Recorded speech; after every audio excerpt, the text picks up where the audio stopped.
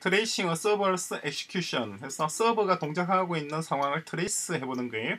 하는 방식입니다. 예제를 바로 그대로 복사를 해서 붙여놓고 그 동작 메커니즘 같이 보도록 하겠습니다.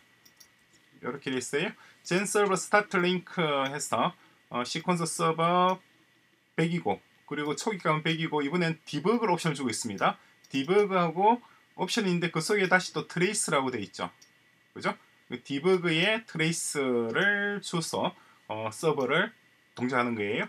이전에는 요것만 줬었잖아요. 근데 이번에 이걸 추가를 한 겁니다. 그렇게 해서 서버를 동작하겠습니다. 이번엔 서버 아이디는 151번입니다.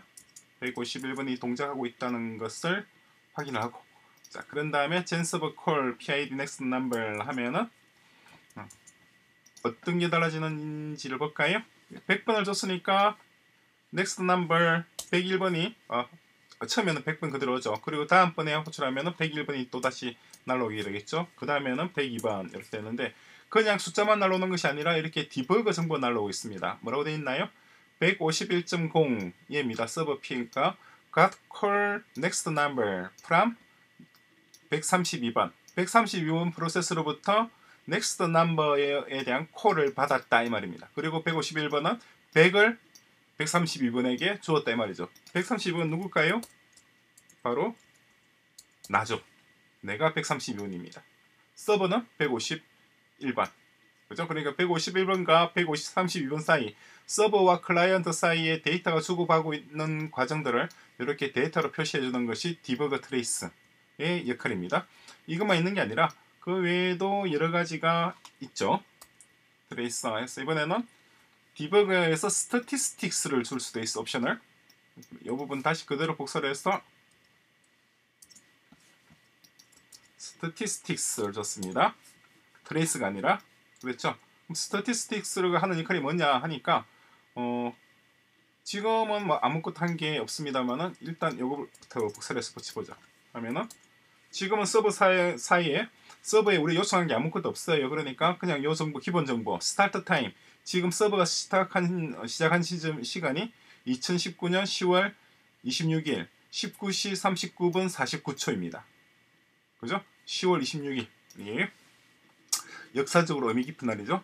그리고 현재 시각이 이러하고 그리고 reduction은 CPU의 사용량을 표시를 하는 거예요. 구체적인 의미가 어떤 의미인지는 나중에 우리 디버깅 시간에 따라 공부를 합니다. 그리고 메시지가 들어온 게 있나요? 없고 메시지 나간 게 있나요? 역시 없죠.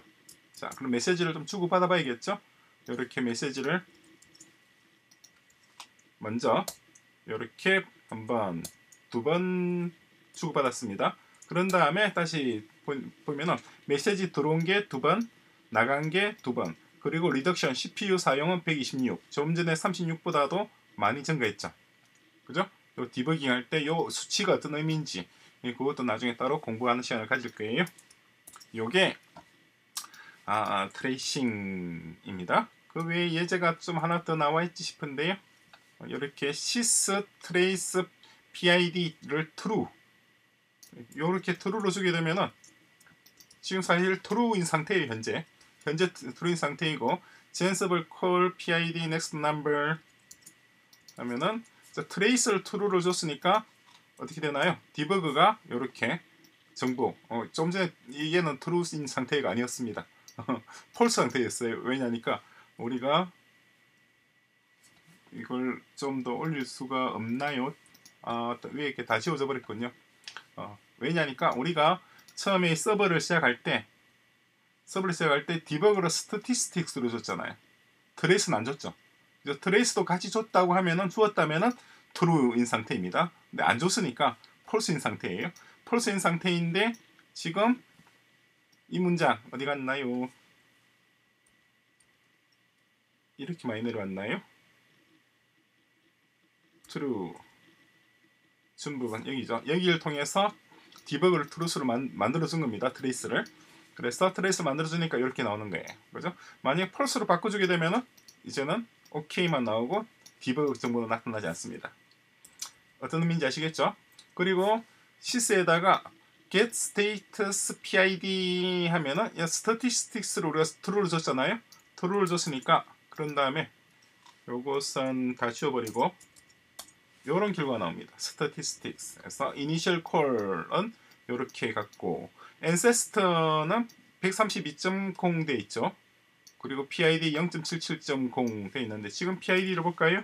self 하면은 132.0 지금 PID예요. 요 PID 이 셀프를 만든 이 IX를 이 뭐예요? IX 환경을 만들어낸 프로세스도 있을 거 아니에요. 걔가 얘입니다. 0.77.0 그죠? 그리고 지금 동작하고 있는 것은 0.132.0 지금 현재입니다. 이라는 정보도 나오고 trace가 true로 돼 있다는 거 지금 우리가 true로 만들었잖아요. trace true 또 사라졌네. 아, 위에 있습니다. 있고 true. 그 statistics에서 날짜, 시간, 분초 있고 reduction, CPU 사용한 것이 있고 그 다음에 숫자 뭐 한 두 개가 더 있고 어떤 숫자인지 나중에 또 볼 거예요. 요거는 in과 out입니다. 메시지가 들어온 것과 나간 것 세 번 들어오고 세 번 나갔다는 뜻이에요. 어, 그리고 어, generic 서버 0.157.0 현재 지금 동작하고 있는 이 서버 어, 지금 동작하고 있는 것이 PID 0.157.0이라는 거예요. 그리고 동작하고 있는 중이고 parent는 이러하고 어, logging logged 이벤트는 뭐 딱히 없고 그 데이터에서 state my current state is 103 I'm happy 이렇게 돼 있죠, 그죠?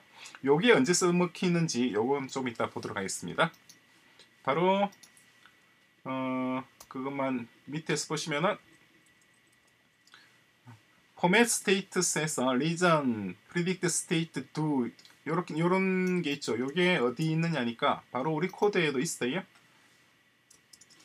그래서 server ex의 제일 밑에 보시면은 format status라고 해서 format status region predict state do 이렇게 이렇게 만들어 뒀습니다. 요런 펑션은 그럼 얘도 마찬가지예요. 얘도 format status든 핸들 캐스트든 혹은 핸들 콜이든 혹은 위에 있는 이니시든 이러한 펑션들은 다 콜백입니다. 콜백 펑션들이고 이 콜백을 누가 콜하느냐 하니까 젠서버가 콜하는 거예요.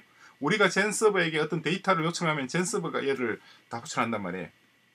우리가 젠서버에게 전달하는 데이터의 종류에 따라서 이 중에서 뭔가 하나를 골라서 호출하는 거예요. 그 중에서 마지막에 있는 format status 요걸 우리가 데이터를 이렇게 지정을 했습니다. 이렇게 지정을 했으니까 했으니까 조금 전에 보시면은 여기에 데이터 해서 statistics 불렀잖아요. get status PID sys.get status PID 호출하니까 이런 데이터가 나오는 겁니다. 우리가 만약 state 방금 그런 function을 정의하지 않았으면 이런 데이터는 나오잖아요. 그냥 데이터는 103으로 끝나버립니다. 한번 여기 이 펑션을 서브 ex 펑션에서 요 포맷이 요걸 지워버리세요. 이렇게 지우고 난 뒤에 한번 이 과정을 다시 한번 반복도 해보시기 바랍니다. 그러면 그 차이점을 보실 수가 있을 거예요. 자, 그런 내용입니다. 자, 그리고 예제가 또 나와 있어요. 이 예제도 어, 나중에 몰아서 다 같이 할 테니까 이번에는 예제 하지 말고 그냥 건너 다음 섹션 센서브 콜백으로 바로 들어오시기 바랍니다.